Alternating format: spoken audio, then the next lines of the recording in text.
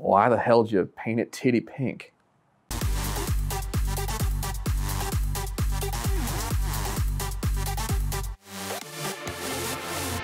So when I was a kid, I had always wanted a cool car. And I couldn't afford a cool car. And, you know, my mom buying me one was out of the question. So uh, I figured, well, I'm either going to have to save up money or I'm going to have to build one. And a friend of mine in high school, his name was Dallin, had a 1969 Camaro SS big block car that his brothers had bought as a project and they had finished it. And he brought it to school one day and it was a, they had swapped out the 396 for a 454. It was painted uh, this Kelly green color and a big hockey stripe down the side, four speed. And it was the most gorgeous thing I'd ever seen in my life. It's a 16 year old boy. And he let me drive it, which was even cooler. And he let me, I said, hey man, can you mind if I, you know, give it a little bit of the business? And he said, sure. I said, can I spin the tires a little bit? And he goes, yeah, yeah, sure. And I had never done a burnout before.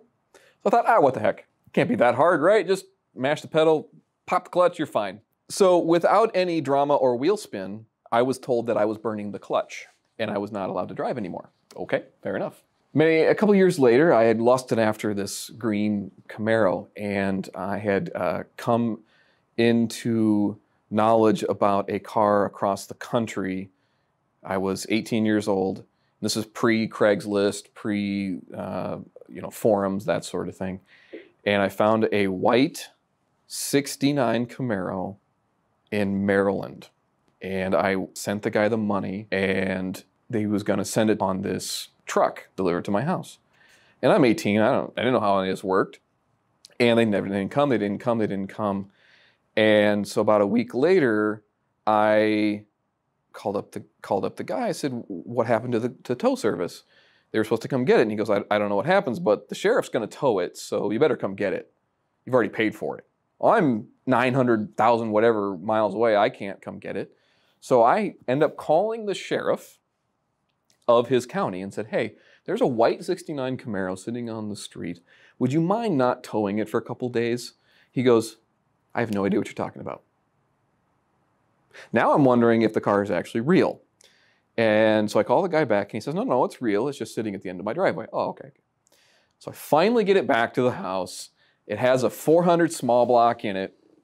And it's not an original Z car, even though it's got all the badges to look like a Z car. It's not an original Z28. I thought I was the coolest kid on the street. I had a 69 Camaro with white with black stripes down the middle of it, and it was just cool. And driving around with it and uh, just being stupid, doing power slides and you know doing just spinning around and just figuring out how that works. And a friend of mine goes, uh, you know, the right exhaust, there's a lot of blue smoke coming out of that, and I'm like, oh, whatever, it's just cold, you know, it's vapor, it's fine, no big deal. Sure enough, the motor was crap. It had bent several valves, and uh, that's why it was running poorly. And I just thought it had a big cam. I'm 18. I didn't know the difference between big cam and bent valves. So I had to rebuild this motor. Well, I'm 18, I'd spent all the money on the car. I'm, I'm broke, I have no money.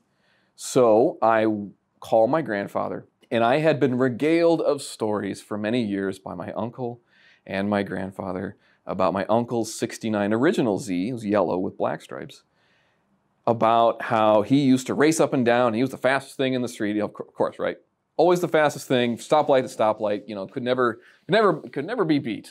And my, my grandfather had said, uh, yeah, he was pretty fast. And my grandfather worked for the fire department at the time. And uh, my uncle, being pulled over a number of times for street racing back in the early 70s, would always get told because the fire marshals and the police were very close. They'd always go up to him and say, Andy, did you know Rick was racing tonight? And uh, my grandfather would give him the stern, mm hmm, but did he win? and uh, that's kind of how it went. And uh, they told me that the my uncle had blown up the transmission a number of times, and my by by now my grandfather could replace it and rebuild it uh, blindfold. He had blown it up so many times. So I called the only Camaro person I know, and that's my grandfather, and uh, he had been kind of putting money away for me in a bank account since I was like five years old. It wasn't a lot. It was like eight, nine hundred bucks. And I said, um, "Do you mind if I have that? I would like to use that money to um, rebuild the engine in my car." I had never rebuilt an engine in my life, let alone taken one out. I had no idea what I was doing, none. And I had a, a simple set of Craftsman hand tools, uh, ratchets, and uh, wrenches that he had given me the previous Christmas, and that was kind of the extent of my tools. But I was bound and determined to do this. And uh, there's a photo of the Camaro at a 45 degree angle in my garage with uh, 2x4s underneath, which how I survived and lived through taking an engine out of that process, I have no idea. But here I am. And he says, Sure, I don't mind sending you that money. It was meant for your college or whatever, but you're already in college, so you know, not that not that big a deal. And you know, cars have been kind of your thing for a couple of years now, so it helps keep you off the streets and you know, getting out, you know, with the gangs and the bad people. And I thought that was an odd comment because not a lot of gangs in suburban Minnesota. He sent me the money, and I I, I ended up pulling the motor. He one day says, calls me up and says, Eric, when when is the motor coming back from the machine shop? I said, uh, Thursday. He said, okay. I get the motor back to my house on the engine stand, and what I thought was a cranberry red color, I was going to paint the engine. I have no idea why I thought this was a good idea. I should have gone with orange, Chevy orange, Hugger orange, any, you know, traditional Chevy colors. I decided to go with cranberry red. Don't ask me why. He decides he's going to drive all the way from Springfield, Missouri, all the way up to Minnesota to help me rebuild this. Cool. All right, I got you know I got some hands-on experience. So I have the block painted, and there it is. He looks at this and goes, in his southern charm, of course, says, "Why the hell did you paint it titty pink?" I said, "Well, it's cranberry red. Looks titty pink to me." Thanks, Grandpa. We rebuild the motor and put it back together, and he leaves and uh, it was a, it was a bummer because he didn't get to hear the first start, but it did start up within the first two or three tries, which was really cool. Uh, being my first attempt at rebuilding a motor, so I called him and started up for him and over the phone, and he just you know he was that was the coolest thing ever, and he was the one of those guys that you could tell him uh, any mechanical problem over the phone, and he could tell you exactly how to fix it. He was not a traditionally classically educated person. He was a school of hard knocks kind of guy who learned on the job. And sometimes those are the best people to know because they know the wrong way to do things because they've done it. And he taught me a lot of life lessons that way. And he would say, that's not how I would do it. But he'd let me screw up anyway and make me look stupid. And he goes, well, you'll figure it out. And I still remember when he passed away, I went to his funeral and I gave a speech, and um, the church that he was at had a 400 person capacity. And it was standing room only at this church. There was a number of people out into the hallway.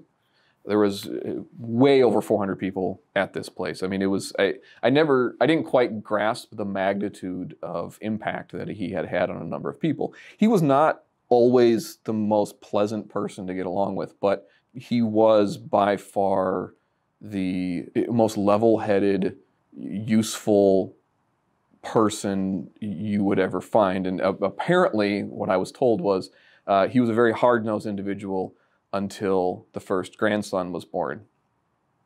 And he mellowed out, which was me. And when he passed away, when he uh, all the the gentlemen from the firehouse, he was a he was a fireman for uh, close to three decades, and uh, so all the firemen that I had recognized from growing you know, going to the farm uh, firehouse, so many years, I had uh, you know I these faces started coming back to me, and one guy came to me, and he says, "You still have that old Camaro?" I said, uh, "No, I no I, I sold that one a while ago," and he goes you couldn't get Andy to shut up about that.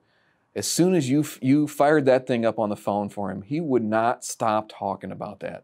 And I still remember that as one of the most kind of poignant moments in your life when you think back because you think your parents or your grandparents or whoever they got their own lives, they got their own thing, you know. eh, they don't really think much of you, you know, because he was 800, 600, 7, whatever, 100 miles away. You don't really think much. He doesn't. You don't think that you enter their thoughts very often. But I still remember one of those guys come up to me and says, "You know, he was really proud of you for that. That was a big deal. He never brags about anything, but he was pretty proud about that."